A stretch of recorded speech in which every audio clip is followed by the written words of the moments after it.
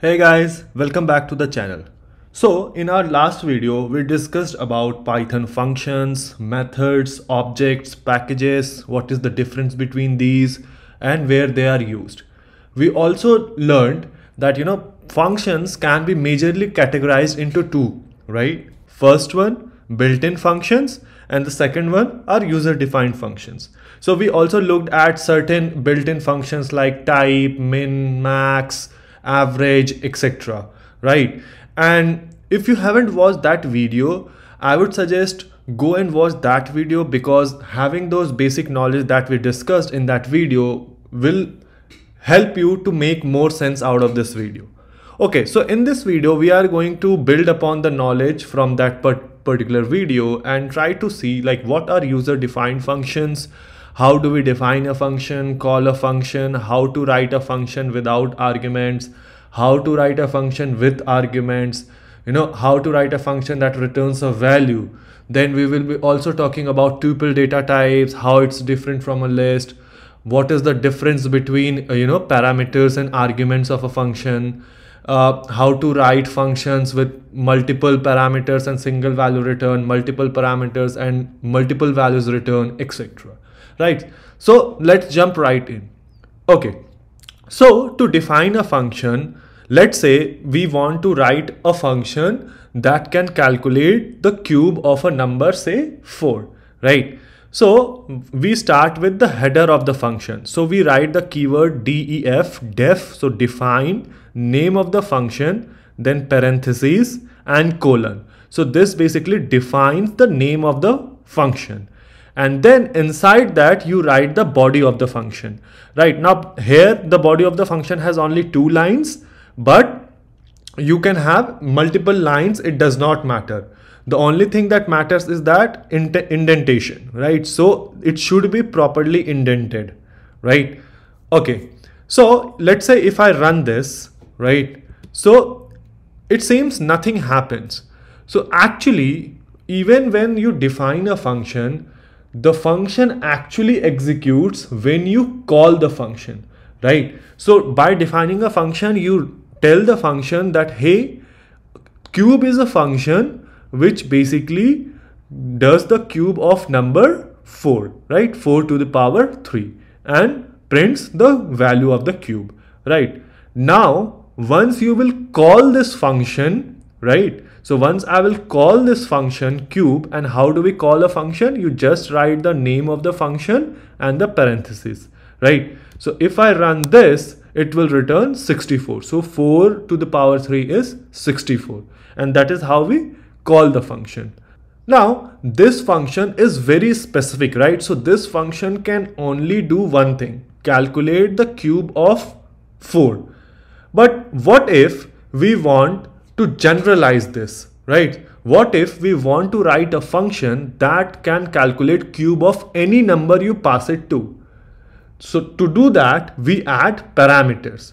So how do we do uh, an add parameter? So let's say we want to write a function to calculate cube of a given number. So here we were calculating cube of number 4, but let's say we are we don't know what the number is yet we are just trying to write a function that can calculate cube of every, any given number right?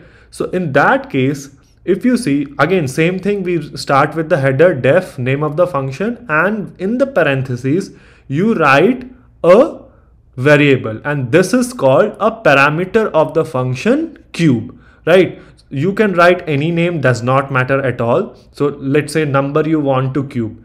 Here if you see there is nothing, right? So there is no parameter of this function cube. But here there is one parameter of this function cube. And then you write cube value is equal to whatever number is provided. You take that and you uh, do the power of 3 and then print cube value. Right? So this is the function definition and this cube 2 so basically now I am calling the function cube right? So if I run this, it is going to return 8, right? Now, let's say I want to do, okay, let me, you know, do a cube of another number, say 2.78. Again, I can run this and it is going to return me 2 to the 2.78 to the power 3, right? So this is how by adding arguments you may you can make a function generalized right now a lot of time what happens people get confused about parameters and arguments of a function right? So what is the difference between these two? Actually they are same but there is slight difference. So when we define a function like, you know, when we are defining this function, right? So define cube and you write the name of the variable inside the parenthesis, this variable, that number you want to cube, right? So this thing, this thing is called a parameter of the function cube, right? But now once you have defined the function and you are calling the function, so in that case, this is called the argument of the function cube, right? So very similar stuff, just a small difference. So when we are defining the function, we are writing parameters of the function, but when we are calling that function, we are passing arguments, right? Now, let's talk about another concept, right? So let's suppose from the above function, we want to assign the value after we cube a number to a variable and use it further in our code. For example, right, so we define this cube function, right, and where we can calculate the cube of any given number. So let's say we are we want to calculate the cube of 3, right? So cube of 3 uh, and like a cube of 3 I am calling the function cube of 3 so it will calculate the cube of 3 right? And if I write a is equal to and, and, try to assign this value to a variable called a and then let's say I want to do the two times of a. Let's say let's see what happens when I run this. So you see this is an error. Why? This is happening because if you don't return anything from a functions it automatically returns none type right? So even if you have written the code like you know this so we have written this right? So if you match this with this so this is exactly same as this thing right? So even though we have written it like this in reality the code is those three lines plus return none which is kind of hidden so that is what this error is. Unsupported operand type for multiplication, int and none type. So from our previous videos, we know that certain arithmetic functions require that the both the uh, variables or both the values are of certain data types. Here, what we are trying to do is we are trying to multiply an integer with a none type data type, right? Which is not supported. So what do we do to make this right? Right.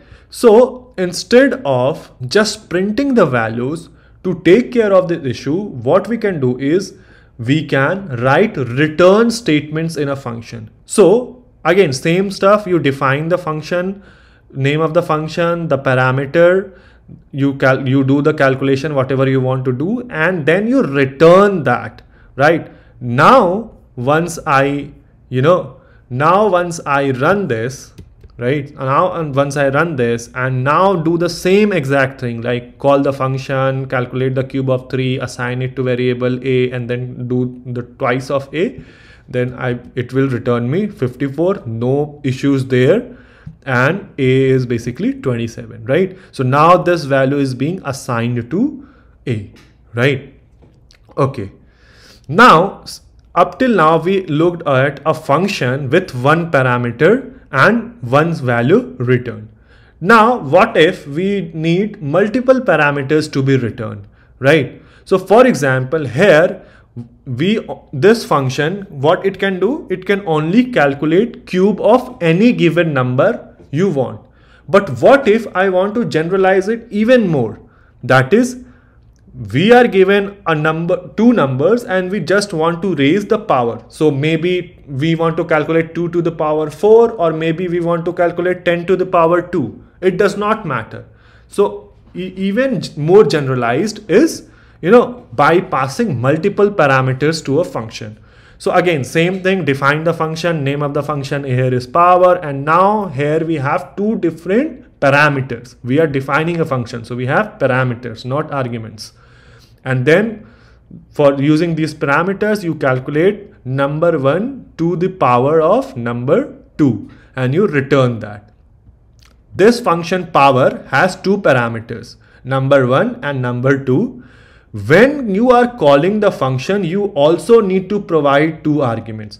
So while defining the function whatever number of parameters you have used while calling the function you will have to pass same number of parameters right? So number of arguments passed while calling the function should be equal to the number of parameters while defining a function right? So let me run this right? So once i run this and let's say here i call the function even though this power function has two parameters let's say i only pass one argument to power right? And let's see what it gives. It says power function is missing one required positional argument number 2 so you see you cannot do this. Let's pass it with two arguments right? So 2 and 3 that is i want to do 2 to the power of 3 right? So i run this it gives 2 to the power of 3 is 8 no problem there.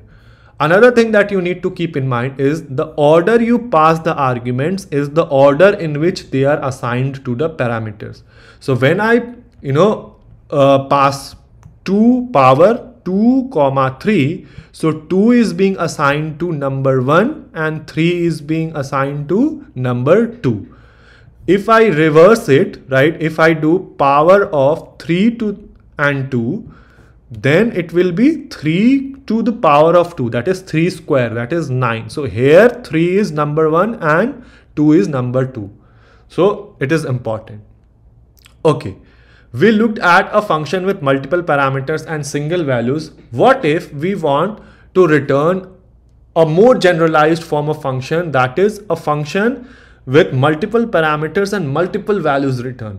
So let's de define a function power, right? Number one and number two, two parameters the first thing is we are what we are doing is we are raising number 1 to the power of number 2 and second thing we are doing is we are raising number 2 to the power of number 1 right? And then let's return both these values right? So return value 1 comma value 2 right? So this is definition of the function and then what i'm doing is i am calling the function power with arguments 2 and 3 so two arguments and two parameters. So it, it is okay and then the value which I am being returned from this function, right, is stored or is assigned to this variable called a, right? So when I run this function, the values are now in a and when I uh, see what is a, so it is 8 and 9. So 8 is 2 to the power of 3 and 9 is 3 to the power of 2. Now, one thing which is very interesting here is like let's use the built-in function type to see what is this right? So parentheses 8 comma 9 so if i run this it is a tuple. So the data type of this a or this object is tuple right? So what are tuples? Tuple are very similar to list but the only difference between list and tuple is that tuples are immutable that is, once you assign certain values to tuples, the values cannot be changed, right? And you create list using square brackets, but to create a tuple, you need to use parentheses, right? So for example, let's create a list and a tuple with same values inside. So we create list using square brackets and we create tuples using parentheses, right? So let me run this. Now, since lis is a list and I want to change the first value that is uh, the first index right? 1 to 5 right? So if I do this list at index 0 is equal to 5 and then I see what is the list it is now 5 3 and data. Let's try to do the same thing for tuples right? Again I want to change this to 5 right? And if I run this it says tuple object does not support item assignment. Why? Because tuples are immutable. Once you have defined a tuple, you cannot change it, right? So that is very important. Okay, so I hope this video was useful.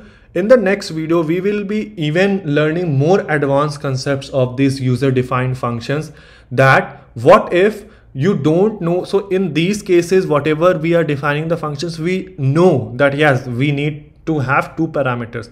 But what if we don't know how many parameters are there? So how to use variable number of para parameters? Also how we, we can define functions with some default values that is every time you need to you know call a function you don't need to pass each and every variable right? So how can we do that?